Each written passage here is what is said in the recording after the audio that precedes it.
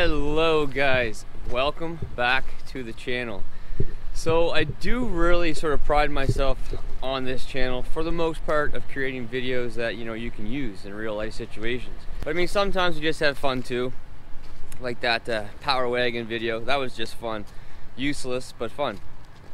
Anyway, so today we're gonna be taking this, the 2019 uh, 4Runner Limited. We're gonna hook up to this enclosed trailer here. You guys are gonna see all that in a second and we're gonna be at about 30, uh, 3,600 pounds what we're gonna be towing.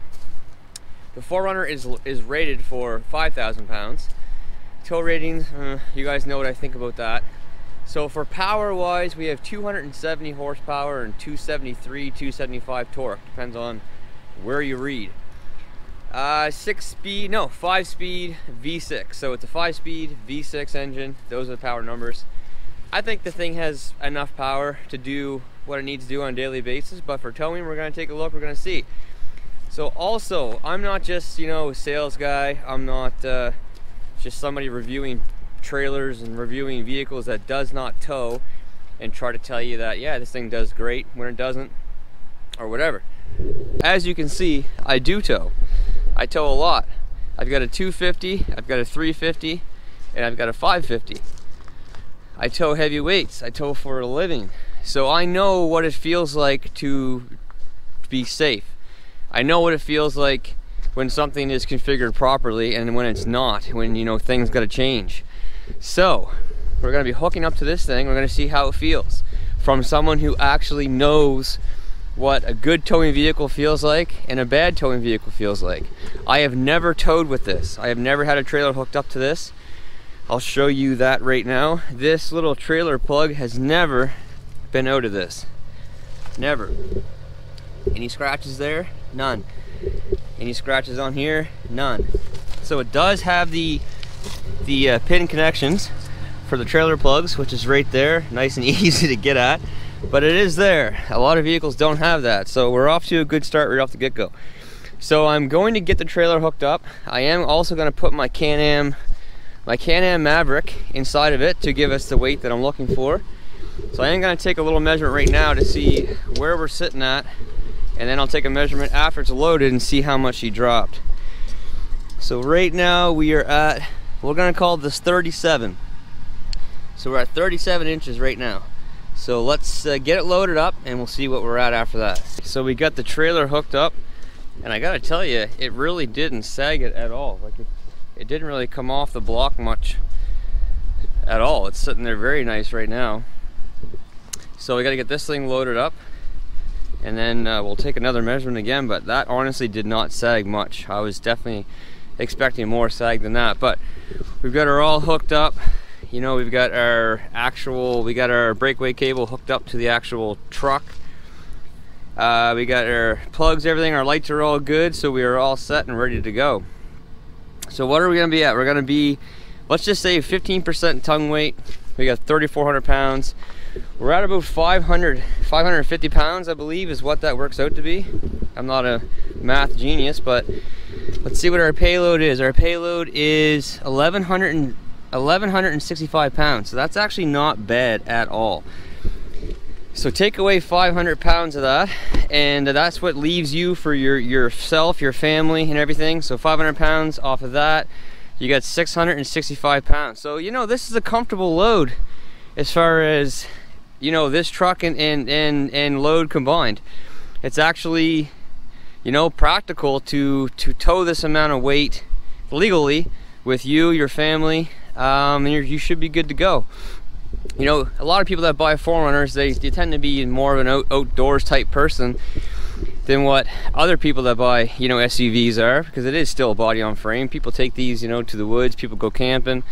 People do exactly what I'm doing with it, take their side-by-sides, their ATVs. So this is a pretty typical load, I think, for this vehicle. So I think it's a really, really good test. So let's get this thing loaded up. We'll take a measurement and then we'll get on the road and see how it does. Okay, so the bike is in and strapped down. Good to go. So let's take a look at what we got now. I believe we were at 37 before. And we're at uh, right around 35 right now. So we dropped about two inches. That's not bad. That's not bad. I'm, I'm happy with that. I'm safe with that. The trailer's still sitting nice and level so all right it is time to hit the road all right we are off so let me just put my trailer brake controller on oh never mind all right let me put my exhaust brake on oh Shit, never mind. Okay, well, let me uh, put it in tow haul mode. Oh, crap. Okay. Alright. No. Alright guys, obviously we don't have any of those things that I'm used to using when I'm when I'm towing, you know, in my super duties. But here we go.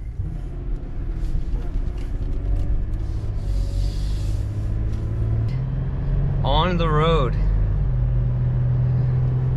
I do definitely wish that there was, you know, an overdrive or tow haul for sure.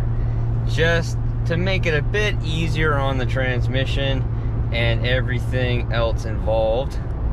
I'm actually going to reset my trip, my uh, trip counter here, and we'll see what I get for, for mileage along this route. Okay, we are all zeroed out. Nice clean windshield to work with. All right, so here we go. So my initial first reaction, you know, again, coming from someone who drives Super Duty trucks and tows all the time, I'm very, very used to towing, so that is one good thing. If you're gonna tow and you're not sure how something will act, it's good that you have experience. You know, if it's bad, turn around and go home or if there's something you can do as far as adjusting the load, then, you know, adjust the load and you should be all right. But I can tell you that so far this thing feels pretty good. Now, we're not going very fast. We're only at, you know, about 50 miles per hour right now. We're gonna get on the highway though, and we're gonna get this thing up to, you know, 65 miles per hour. Going around those turns, it feels, it feels good. The weight in the trailer is basically right over the axles of the trailer, so the trailer's taking a lot of the weight. But you obviously still do get a lot of that coming through into the vehicle itself. And the thing about towing a trailer like this, this one is actually a foot higher uh, of, of more headroom than what a lot of enclosed trailers are. It's not the weight, it's it's the wind. Like this thing catches a lot of wind. This is actually, as far as even with my Super Duties, this is actually towing this trailer is harder on fuel than towing like 12,000 pounds in my dump trailer. It's because it's not aerodynamic, it catches a lot of wind. So we are going to be highway driving mainly. There's going to be lots of hills. If you've watched my videos before, you, a lot of this is going to look familiar because this is the same route that I pretty much take for a lot of things. Just give it a little acceleration here. Not bad. So we're going to have a lot of hills. So you're going to see, you know, how this thing does going up the hill, how it does going down the first hill that I'm going to hit, I'm going to, you know, tap the brake and see if it downshifts. If it doesn't downshift and it's starting to, you know, to take off on me, then I'm gonna I'm gonna use the brake, obviously, but I'm going to put it over in manual shift mode, and I can and I can control the transmission myself, which is what I would be doing consistently if I was towing with this on a regular basis. But we're gonna jump on the highway. We'll do a little acceleration to get up to speed, and then we're gonna see how this thing acts. Okay, finally we are off.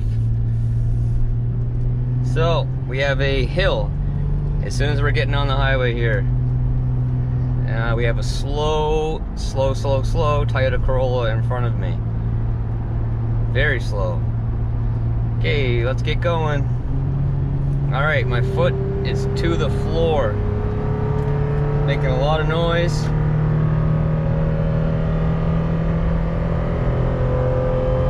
Holy. Well, there it's up to speed. okay, so not exactly what I'm used to, that's for sure. I've towed this exact same uh, trailer and and machine just the other day in my 250 and uh, yeah. Anyway, so here we go, here we go. We got some big bumps coming up here, this overpass, I always show that. So we're heading downhill right now. I'll just catch you on the bumps.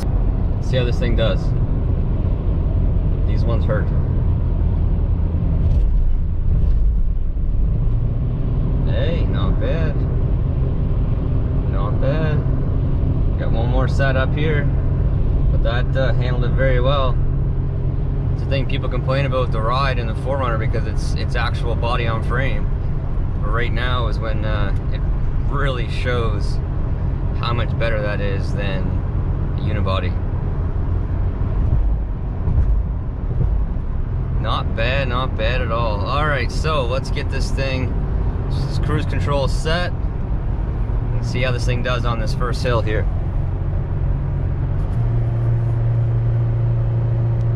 Shifting down. Oh yeah, here we go.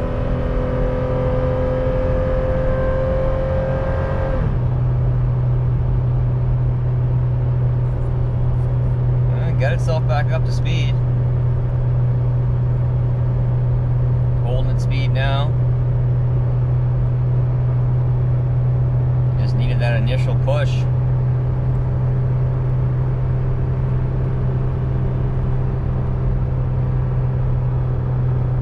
Okay. Like Zach here. Pretty much at the top of the hill here. Can't go much faster anyway. Alright, so that's the first hill climb. Now that was sort of starting with not that was sort of starting not at the speed I wanted to be, so the vehicle actually had to to get up to speed. So the next next hill we hit, hopefully we won't have these people in front of us, uh, you know, actually slowing us down right now, and we'll see how it does, you know, shifting by itself. Funny thing about this, you know, I when I bought this, sales guy was like, "Hey, you know, it's got it's got the trailer hitch." I said, "Man, I will never tow with that. I have three Super Duties. I will never tow with that." And then I got thinking, you know, a lot of people that you know buying these things, they might want to see how this thing does. So that's the whole point of this video is is is for you guys, to be honest. Because you guys out there, hey, you know, I think about buying a 4Runner and I got a camper. I wonder how it's gonna do. So this is this is for you guys. So here we are. We're going down this first hill. I'm gonna set my cruise right now, and I'm gonna see, you know, how much it will let itself sort of run away until it slows down. If it does, I got these people in front of me, and we're gonna be coming back up this hill, and it is probably gonna scream pretty loud on this hill right here, because this this this is a killer. So we are we are starting to pick up a little bit of speed, but not much. I can feel the vehicle holding me back. I can feel it not letting itself run away. And we're actually in sixth gear right now. Doing really well. You can see it's sort of adjusting the RPMs a little bit. It is holding us back. That is that is perfect. We're pretty much at the bottom of this hill. That that was great. That really impressed me. That that really that really makes me happy to see that that they configured this vehicle in that way. Very, very well done.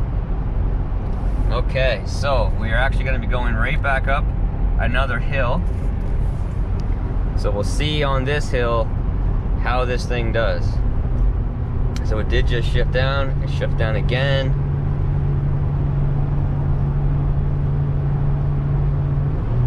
Shift it down again. Holding its speed right now. I think that's gonna do it right there. I don't know what gear this is. I'm gonna guess it's uh, fourth gear, but that seems to be the, the sweet spot right there.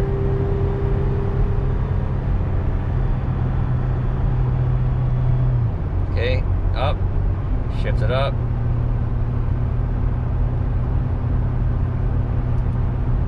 All right, so not bad so far. So as far as the trailer and the vehicle feel itself, it actually feels really, really nice. The the trailer is not swaying at all. I feel like I have complete control of the vehicle. You know, I've got one hand on the steering wheel. I'm not, you know, white knuckled by any means here. So as far as the actual feel, it act it feels like really nice. It's completely planted on the road. I'm really impressed with with the feel of the vehicle. I will say another thing that that's a positive. I obviously don't have the like the tow like adjustment mirror things on this rig and I can actually see past the defender on my trailer no problem. Like I actually have really good vision behind the trailer with just these mirrors because they are quite long. So I'm actually I'm really happy with that. I'm really really happy with that. All right, we are at our halfway point. 26.9 liters per every 100 kilometers right now. Coming to a stop's not bad. The uh, obviously the brakes could feel better, but I can feel that there is some uh, some braking back there. Obviously, a trailer brake controller would be would be nice, and heavier brakes on any tow vehicle would be nice. Just being used to using you know the Super Duties and even half tons, the brakes aren't quite where I'd want them to be getting back up to speed and we're gonna catch that big hill on the way back and we'll see how this thing does. To the floor.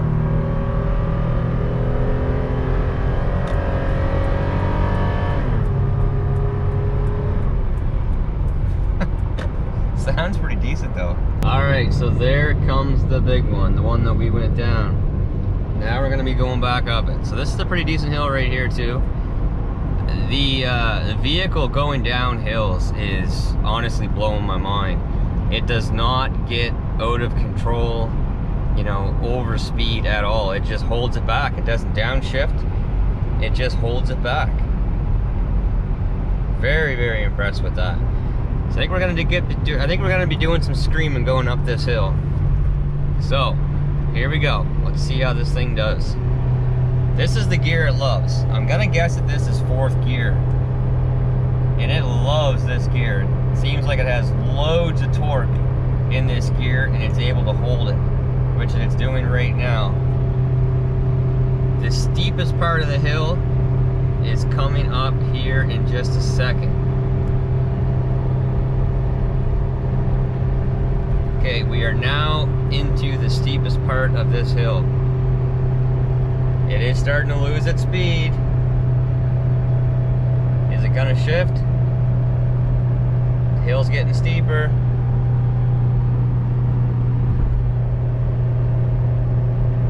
Oh, it definitely did lose some speed. There we go.